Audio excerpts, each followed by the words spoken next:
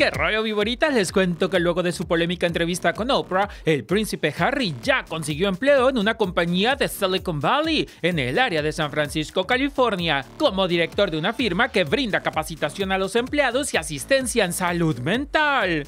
Ay Dios, por eso habrán dicho todas esas cosas del suicidio y el racismo. ¿Quién sabe? Demi Lovato estrenó su documental Dancing with the Devil. El evento contó con alfombra roja y la producción se proyectó en un drive-in en el Hotel Beverly Hilton de Los Ángeles a todo lujo. I'm very excited to finally show this documentary to the whole world. Salma Hayek publicó una fotografía de su juventud que alborotó a todos, pues de inmediato los seguidores la compararon con Eiza González. Y mire usted, en verdad que son similares. ¿O compartieron al mismo cirujano? ¿Usted qué cree?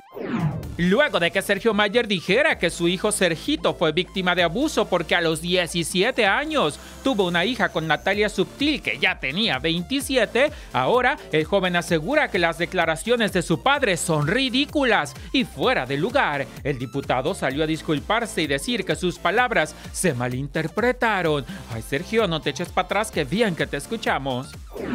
Daddy Yankee está feliz tras ser nombrado el compositor del año de ASCAP, imponiendo récord pues ya suma 42 de estos premios. Me dan la noticia de que estamos rompiendo todos los récords eh, de todos los tiempos en la historia de ASCAP, convirtiéndome en el máximo galardonado de la historia. Por algo es el papá del reggaetón. Laura Flores confesó que Fernando Colunga y Talía sí fueron novios cuando hicieron María la del Barrio. El rumor hacía tiempo que corría por todos lados, pero la actriz se atrevió a confirmarlo ya que lo vio con sus propios ojitos un día que fue a comer con Laura Zapata y descubrió en Arrumaco Beso y Papacho al par de tortolitos. Angélica Rivera vuelve a acaparar titulares. Esta vez se afirma que la gaviota estaría a punto de terminar un libro autobiográfico donde contaría todo lo que vivió en su sexenio en Los Pinos. Sin evitar ningún detalle de la relación con Enrique Peña Nieto, pero ¿será que lo cuenta todo o lo pone como si fuera una telenovela rosa de esas que protagonizaba? ¡Ay, gaviota! Cuenta la verdad o vuela de ese proyecto. Eso es todo, viboritas. Enroscanse y a seguir la gozadera. Soy Juan Alberto Santos y estás en Chisme en Vivo.